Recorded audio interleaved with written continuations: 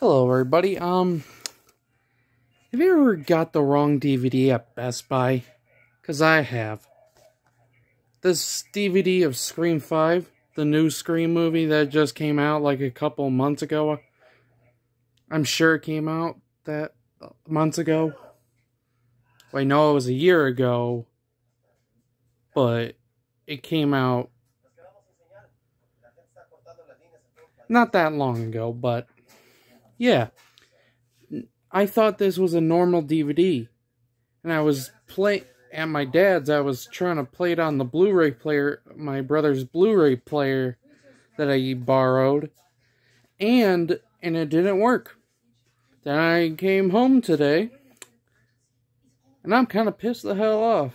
So I got the wrong damn DVD. I played it on the Xbox. And guess what? It didn't work because it's a 4K Ultra HD. And it was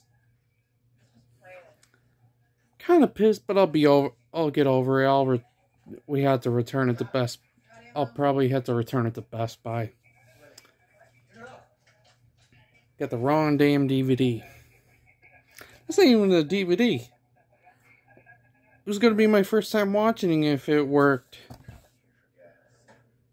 Because I love the Scream franchise.